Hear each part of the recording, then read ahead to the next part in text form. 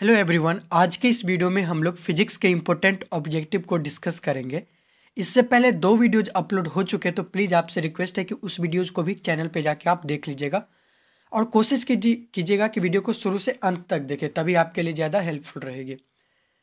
तो चलिए वीडियो को शुरू करते हैं। तो यहाँ पे फ़र्स्ट क्वेश्चन क्या कह रहा है कि the torque acting on electric dipole of dipole moment P placed in electric field of intensity E यानी कि पी आधूर्ण वाला एक विद्युत द्विध्रुव ई तीव्रता वाले विद्युत क्षेत्र में रखा जाए तो उस पर लगने वाले टॉर्क होगा। तो ये सब आपको मालूम होना चाहिए। तो इसका फ़र्स्ट का जो करेक्ट आंसर जो होगा, वो क्या हो जाएगा? ए जो होगा, इसका फ़र्स्ट का करेक्ट आंसर हो जाएगा। ठीक है? अब हम लोग सेकेंड क्वेश्चन पे चलते हैं। तो सेकेंड क्वेश्चन देखिए, यहाँ पे क्या बोल रहा है कि the power of electric circuit is तो इलेक्ट्रिक सर्किट का पावर कितना होता है? तो ये क्वेश्चन रिपीट भी हो चुका है पिछले बार, शायद पिछले से पिछले वीडियो में। ये क्वेश्चन बताया गया था। तो आप सबको इसका करेक्ट आंसर मालूम होना चाहिए, लेकिन फिर भी मैं यहाँ पे बता देता हूँ कि विद्युत परिपथ की शक्ति होती है, ठीक है? तो सेकंड का करेक्ट आंसर होता है सी यानी कि वी स्क्वायर बट्टा आर जो होगा, इसका करेक्ट आंसर हो जाएगा, ठीक है? अब हम लोग थर्ड क्वेश्चन पे चलते हैं। तो थर्ड क्वेश्चन देखिए यहाँ पे क्या बोल रहा है कि dimensions of magnetic field is यानी कि चुंबकीय क्षेत्र की विमा है। चुंबकीय क्षेत्र की विमा पूछ रहा है यहाँ पे, ठीक है?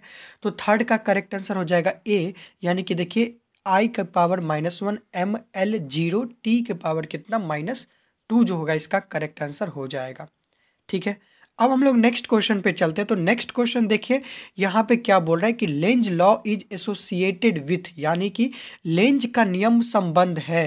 तो देखिए, ये भी क्वेश्चन शायद रिपीट हुआ है। तो फोर का करेक्ट आंसर क्या हो जाएगा? एनर्जी जो होगा, यानी कि ऊर्जा जो होगा, इसका करेक्ट आंसर हो जाएगा। ठीक है?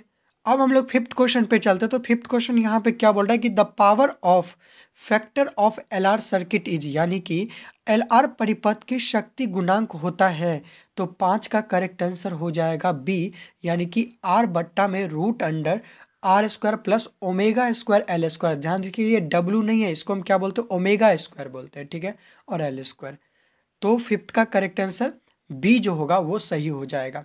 अब हम लोग सिक्स क्वेश्चन को देख लेते हैं कि सिक्स क्वेश्चन यहाँ पे क्या बोल रहा है? ध्यान दीजिए कि when the intensity of magnetic field is increased four times ठीक है? The time period of suspended magnetic needle becomes यानी कि जब चुंबकीय क्षेत्र की विमा को चौगुनी बढ़ा दिया जाता है, ठीक है? तो दो लटक तो लटकती हुई चुंबकीय सुई की आवर्तकाल होता है। तो यहाँ पे ऑप्शन है डबल यानी कि दो गुना हो जाता है, आधा हो जाता है, एक चौथाई हो जाता है, या फिर वन फोर्थ लेस यानी एक चौथाई कम हो जाता है, ठीक है? तो यहाँ पे ध्यान दीजिए कि सिक्स का जो करेक्ट आंसर जो हो जाएगा, वो हो जाएगा ए यानी कितना हो जाएगा? डबल हो जाएगा इसका। कहीं कहीं पे आपको हाफ़ भी लिखा रहेगा, लेकिन ध्यान तो आप देख लेना ऑप्शन में क्या है, लेकिन इसका जो करेक्ट आंसर होगा, वो डबल होगा। अब हम लोग सेवेंथ सेवेंथ पे चलते हैं यहाँ पे। सेवेंथ क्वेश्चन देखिए यहाँ पे क्या बोल है कि the final image in astronomical telescope is यानी कि खगोलीय दूरदर्शक में अंतिम प्रतिबिंब होता है। देखिए यहाँ पे क्या बोला अंतिम प्रतिबिंब का बात हो रहा है यहाँ पे। ठीक है? तो अंतिम प्रतिबिंब क्या होता है? वर्चुअल एंड इन्वर्टेड होता है ना, यानी कि काल्पनिक और उल्टा होता है। तो सेवन का करेक्ट आंसर कितना हो जाएगा? सी जो होगा इसका करेक्ट आंसर हो जाएगा। अब हम लोग एट्थ क्वेश्चन पे चलते हैं। तो एट्थ क्वेश्चन देखिए यहाँ पे क्या बोल रहा है कि beta rays are deflected in ठीक है? तो यहाँ पे बीटा किरणें विक्षेपित होती है। तो यहाँ पे देखिए ऑप्शन क्या है? देख लेते हैं एक बार सब ऑप्शन को कि ग्रेविटेशनल फ़ील्ड यानी कि गुरुत्वाकर्षण क्षेत्र में ओनली इन मैग्नेटिक फ़ील्ड केवल चुंबकीय क्षेत्र में ओनली इन इलेक्ट्रिक फ़ील्ड केवल विद्युतीय क्षेत्र में both in magnetic and electric field यानी कि चुंबकीय और विद्युतीय क्षेत्र दोनों में, ठीक है? तो मैं आपको बता दूँ एट का जो करेक्ट आंसर होगा, वो क्या हो जाएगा? डी यानी कि दोनों फ़ील्ड में होता है। Magnetic field and electric field दोनों में होता है। चुंबकीय और विद्युत क्षेत्र दोनों में होता है। ठीक है? तो एट का करेक्ट आंसर क्या हो जाएगा? डी हो जाएगा। अब हम लोग नाइन्थ क्वेश्चन पे चलते तो नाइन्थ क्वेश्चन देखिए, यहाँ पे क्या बोला? मॉडर्न फिजिक्स का क्वेश्चन है। कि the Boolean expression for NOR gate is NOR gate ये सबको नॉर गेट के लिए बुलियन व्यंजक है तो ये सबको मालूम होनी चाहिए तो नाइन का करेक्ट आंसर क्या हो जाएगा? डी जो होगा, इसका करेक्ट आंसर हो जाएगा। अब हम लोग टेंथ क्वेश्चन पे चलते तो टेंथ क्वेश्चन देखिए यहाँ पे क्या बोल रहा है? कि the algebraic sum of all currents meeting at a point in an electric circuit is तो यहाँ बोला है कि विद्युतीय परिपथ के किसी बिंदु पर सभी धाराओं का बीज योग तो क्या ज़ीरो होगा इन्फानाइट होगा या फिर पॉजिटिव होगा या फिर निगेटिव होगा, ठीक है? तो देखिए, टेन का जो करेक्ट आंसर जो होगा, वो क्या हो जाएगा? ए, यानी कितना हो जाएगा? शून्य जो होगा, इसका करेक्ट आंसर हो जाएगा।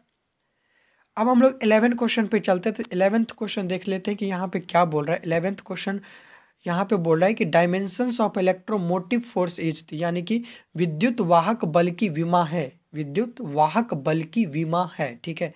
तो यहाँ पे इलेवन का जो करेक्ट आंसर जो होगा वो हो जाएगा डी तो एक काम कीजिए, यहाँ पे ना एम एल स्क्वायर तो सही है। एम एल स्क्वायर टी की पावर माइनस थ्री तो सही है। यहाँ पे आई का पावर जो है वन सेकेंड यहाँ पे आई का पावर माइनस थ्री नहीं होगा। क्या कीजिएगा आप लोग, इसको कट कर लीजिएगा। आई के पावर माइनस थ्री को, यहाँ पे ए का पावर जो है माइनस वन हो जाएगा लास्ट में। ठीक है? यानी कि एम एल स्क्वायर टी का पावर माइनस थ्री और ए का पावर माइनस वन ये ऑप्शन नंबर डी में है। ठीक है? तो जब आप इसको याद कीजिएगा तो वहाँ पे देख लीजिएगा अच्छे से। एलेवन का करेक्ट आंसर क्या हो जाएगा? डी हो जाएगा। But M L square T की पावर माइनस थ्री और ए का पावर कितना? माइनस वन हो जाएगा। तो अब हम लोग करेक्ट किस पे? ट्वेल्थ पे चलते हैं। तो ट्वेल्थ क्वेश्चन यहाँ पर देख लेते हैं कि क्या बोल रहे हैं यहाँ पे। कि ट्वेल्थ क्वेश्चन बोल रहा है कि ampere hour is unit of यानी कि एम्पियर घंटा का मात्रक है। तो देखिए, ये भी क्वेश्चन आप सबको मालूम होना चाहिए। तो इसका करेक्ट आंसर क्या हो जाएगा? चार्ज, यानी कि आवेश जो होगा, इसका करेक्ट आंसर हो जाएगा। अब हम लोग थर्टीन क्वेश्चन पे चलते हैं। थर्टीन क्वेश्चन यहाँ पे क्या बोल रहा है? कि द यूनिट ऑफ़ रिएक्टेंस यानी कि प्रतिघात का मात्रक है।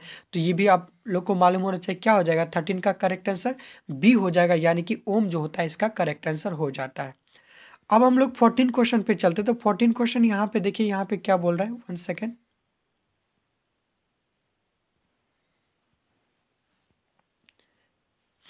देखिए फोर्टीन क्वेश्चन क्या बोला है कि when a ray of light enters a glass slab its wavelength यानी कि जब प्रकाश की एक किरण ग्लास स्लैब में प्रवेश करती है तो इसका तरंग धैर्य, ठीक है? तो अब देखिए, यहाँ पे फोर्टीन का जो करेक्ट आंसर जो होगा, वो होता है ए यानी कितना घटता है, ठीक है? तो घटता है तो ये बात ध्यान रखिएगा आप लोग।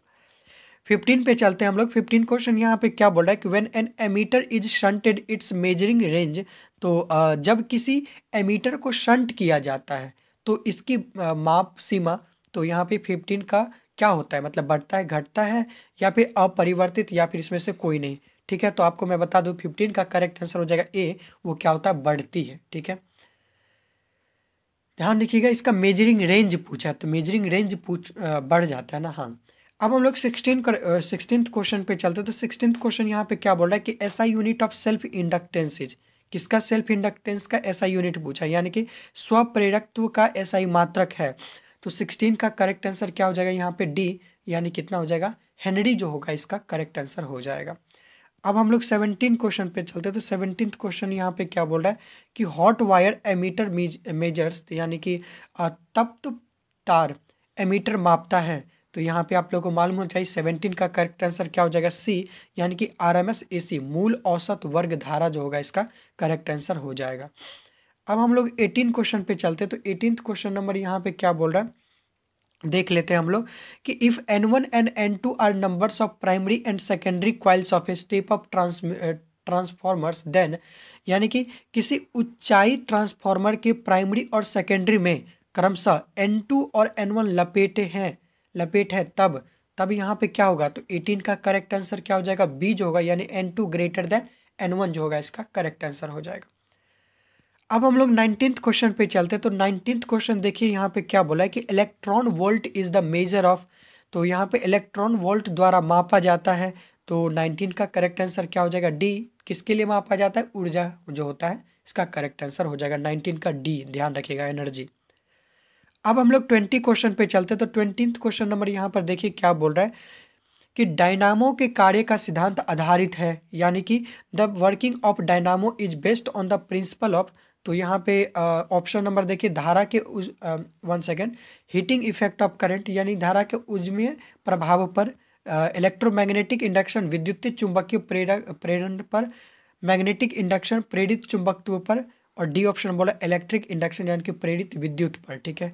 तो ट्वेंटी का करेक्ट आंसर क्या हो जाएगा? बी हो जाएगा यानी कि इलेक्ट्रोमैग्नेटिक इंडक्शन यानी कि विद्युत चुंबकीय प्रेर प्रेरण पर जो होगा इसका करेक्ट आंसर हो जाएगा ठीक है? तो हम लोग मिलते हैं फिर नेक्स्ट वीडियो में। आ, आपको क्या करना है कि हर एक ऑब्जेक्टिव को अच्छे से ध्यान से पढ़ना क्या है कि इसमें मैं बीच बीच में मिक्स में काफ़ी सारे बच्चे कंपार्टमेंट के क्वेश्चन जो होते हैं वो नहीं पढ़ के जाते और वहाँ से भी कई सारे ऑब्जेक्टिव पूछ देता है बिहार बोर्ड, ठीक है? तो आप लोगों को मैं उसको, उस ऑब्जेक्टिव को भी कवर करवाऊँगा, ठीक है? मैं कम कम इसलिए क्वेश्चन ले रहा हूँ ताकि आप साथ के साथ अभी आपके पास दो से तीन दिन है तो आप थोड़ा सा केमिस्ट्री भी पढ़ लो बायो भी पढ़ लो। ये नहीं कि आपका फ़र्स्ट दिन एग्ज़ाम फिजिक्स का तो आप फिजिक्स ही पढ़ते रहो, ठीक है? एक ही दिन अब तो टाइम है। तो ठीक है तो आप लोगों को क्या करना इसके साथ सब्जेक्टिव की भी तैयारी करना ऑब्जेक्टिव तो मेरे को मालूम है आप इतना कर लोगे तो आप पैंतीस आपके आ जाएँगे लेकिन सब्जेक्टिव को भी याद करने की कोशिश करो ठीक है? वैसे मैं कल से नंबर ऑफ़ क्वेश्चंस बढ़ा दूँगा क्योंकि आ, कल तो लास्ट एग्ज़ाम है तो मैं कोशिश करूँगा सत्तर क्वेश्चन एक वीडियो में पूरा ला दूँ आपके लिए और उसमें से तो पैंतीस क्वेश्चन आएँगे ही आएँगे ठीक है? तो मिलते हैं नेक्स्ट वीडियो में तब तक के लिए थैंक यू सो मच